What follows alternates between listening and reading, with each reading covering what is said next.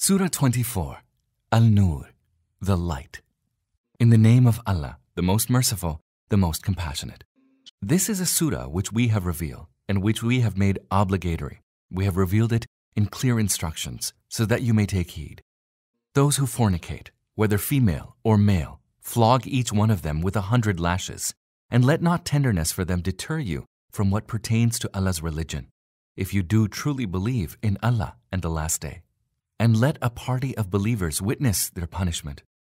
Let the fornicator not marry any except a fornicatress or idolatress, and let the fornicatress not marry any except a fornicator or an idolater.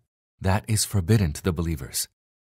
Those who accuse honorable women of unchastity, but do not produce four witnesses, flog them with eighty lashes, and do not admit their testimony ever after. They are indeed transgressors.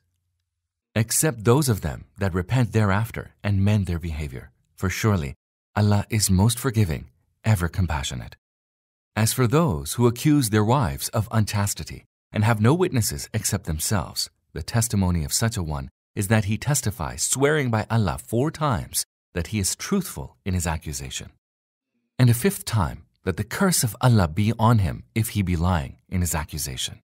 And the punishment shall be averted from the woman if she were to testify, swearing by Allah four times that the man was lying, and a fifth time that the wrath of Allah be on her if the man be truthful in his accusation.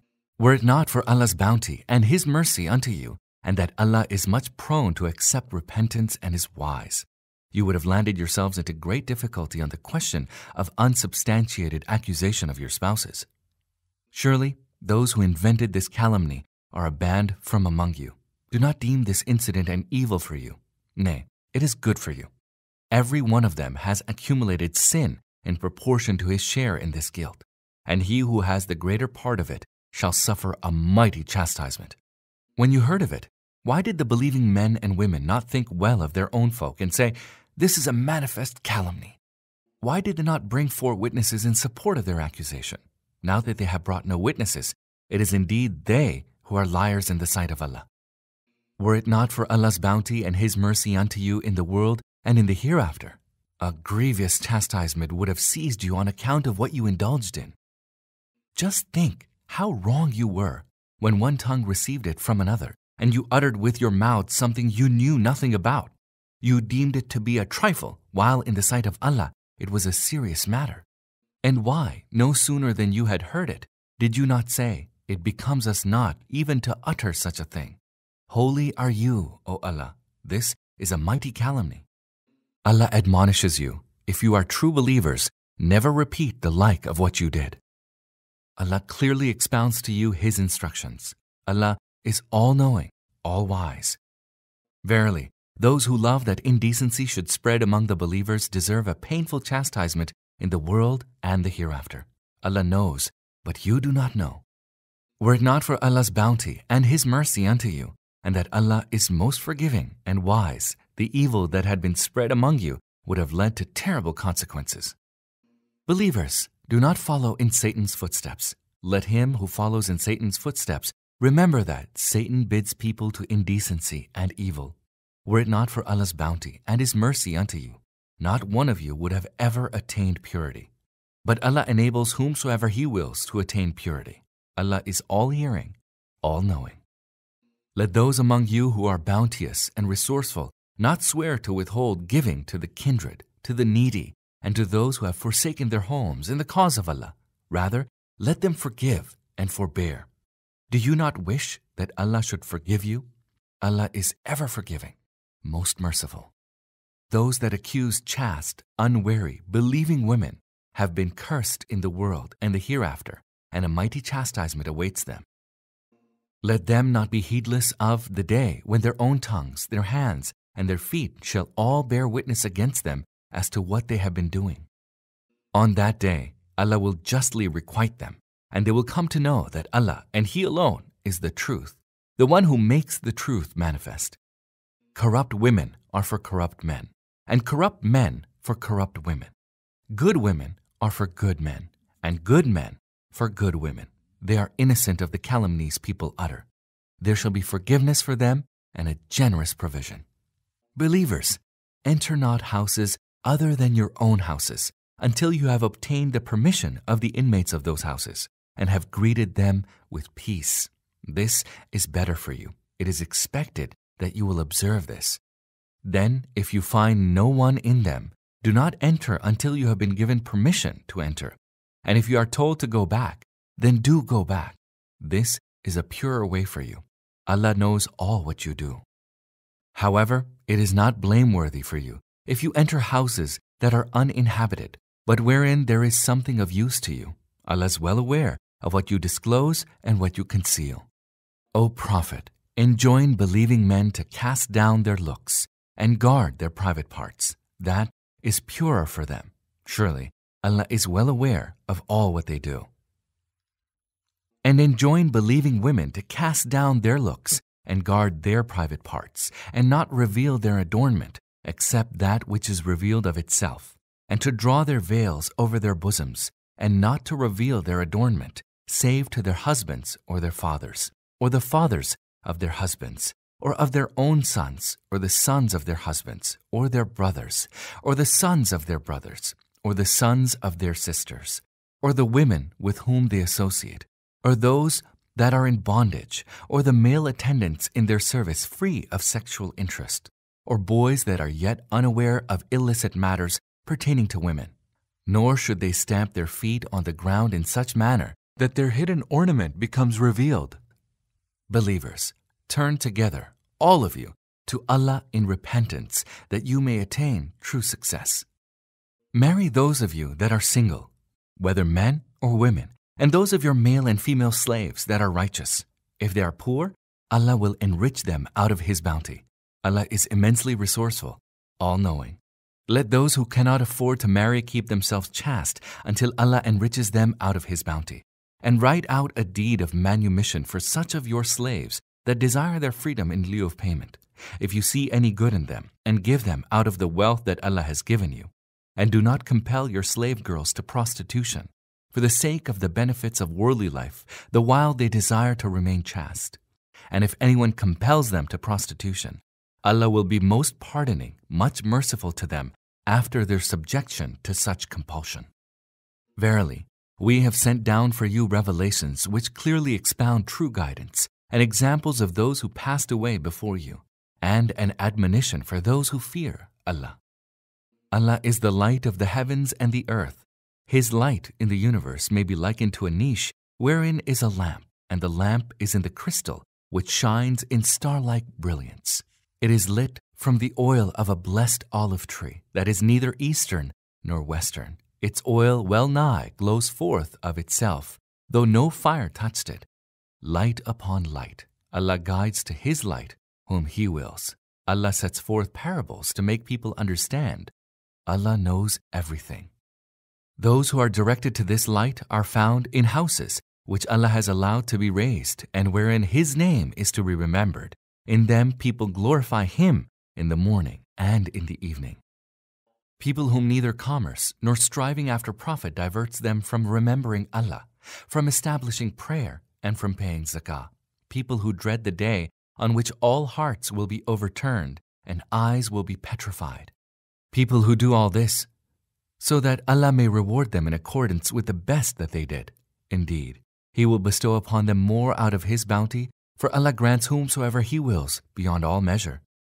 But for those who deny the truth, their deeds are like a mirage in the desert, which the thirsty supposes to be water until he comes to it only to find that it was nothing. He found instead that Allah was with him and he paid his account in full. Allah is swift in settling the account. Or its similitude is that of depths of darkness upon an abysmal sea covered by a billow, above which is a billow, above which is a cloud, creating darkness piled one upon another. When he puts forth his hand, he would scarcely see it. He to whom Allah assigns no light, he will have no light. Do you not see that all that is in the heavens and the earth, even the birds that go about spreading their wings in flight, extol His glory? Each knows the way of its prayer and of its extolling Allah's glory. Allah is well aware of whatever they do. Allah's is the dominion of the heavens and the earth, and to Him are all destined to return. Do you not see that it is Allah who gently drives the clouds? Then he joins them together and then turns them into a thick mass, and thereafter you see raindrops fall down from its midst. And then he sends down hail from the heaven, thanks to the mountains, and causes it to smite whom he wills, and averts it from whom he wills. The flash of his lightning almost takes away the sight. It is Allah who alternates the night and the day. Surely there is a lesson in it for those who have sight. Allah has created every animal from water. Of them, some move on their bellies, some move on two legs, and some on four. Allah creates whatever He wills. Surely, Allah has power over everything. Verily, we have sent down revelations that clearly explain the truth. Allah guides whomsoever He wills to a straight way. They say, We believe in Allah and the Messenger, and we obey. But thereafter a faction of them turns away from obedience. These indeed are not believers. When they are called to Allah and His Messenger, that He, that is the Messenger, may judge the disputes among them, a faction of them turns away. However, if the right is on their side, they come to Him, professing their submissiveness. Do their hearts suffer from the disease of hypocrisy? Or have they fallen prey to doubts? Or do they fear that Allah and His Messenger will wrong them? Nay, the truth is that they themselves are wrongdoers. When those that believe are called to Allah and His Messenger, in order that He, that is the Messenger, may judge their disputes among them, nothing becomes them but to say, We hear and we obey. Such shall attain true success. Those who obey Allah and His Messenger and fear Him and avoid disobeying Him, such indeed shall triumph. The hypocrites solemnly swear by Allah, If you order us, we shall surely go forth and fight in the cause of Allah. Tell them, do not swear. The state of your obedience is known. Allah is well aware of all that you do. Say, Obey Allah and obey the Messenger. But if you turn away, then know well that the Messenger is responsible for what he has been charged with, and you are responsible for what you have been charged with. But if you obey him, you will be guided to the right way. The Messenger has no other responsibility but to clearly convey the command. Allah has promised those of you who believe and do righteous deeds that He will surely bestow power on them in the land, even as He bestowed power on those that preceded them, and that He will firmly establish their religion, which He has been pleased to choose for them, and He will replace with security the state of fear that they are in. Let them serve me and associate none with me in my divinity. Whoso thereafter engages in unbelief, such indeed are the ungodly. Establish prayer and pay zakah and obey the messenger so that mercy may be shown to you.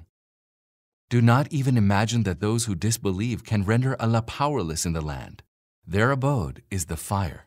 What an evil abode.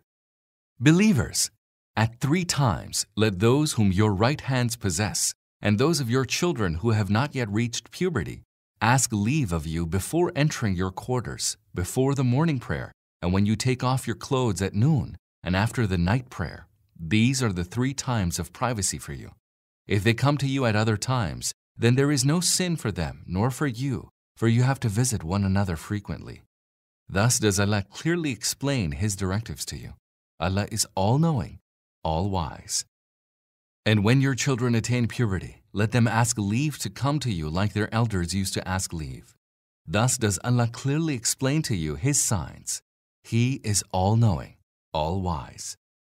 The women who are past their youth and can no longer bear children and do not look forward to marriage will incur no sin if they cast off their outer garments without displaying their adornment. But if they remain modest, that is still better for them.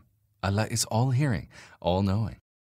There is no blame on the blind, nor any blame on the lame, nor any blame on the sick, nor on yourselves that you eat in your own houses, or your father's houses, or your mother's houses, or your brother's houses, or the houses of your sisters, or the houses of your fathers, brothers, or the houses of your father's sisters, or in the houses of your mother's brothers, or in the houses of your mother's sisters, or in the houses whose keys you possess, or the house of a friend, there is no blame if you eat together or separately. But when you enter such houses, greet each other with a salutation appointed by Allah, a salutation that is blessed and good. Thus does Allah expound His signs to you in order that you will act with understanding. The true believers are only those who sincerely believe in Allah and in His Messenger, and who, whenever they are with Him on some common errand, They do not go away until they have asked leave of him. Verily, those who ask leave of you, it is they who truly believe in Allah and His Messenger. So if they ask your leave in connection with some of their affairs, give leave to those whom you will, and ask Allah for forgiveness on their behalf. Surely, Allah is much forgiving, ever merciful. Muslims, do not make the calling of the Messenger among you as your calling one another. Allah knows well those of you who surreptitiously steal away, taking shelter behind one another. Let those who go against the order of the Messenger beware lest a trial of severe punishment afflict them. Lo, whatsoever is in the heavens and the earth belongs to Allah. He is well aware of your ways, and the day when they will be returned to Him, He will tell them all what they did. Allah knows everything.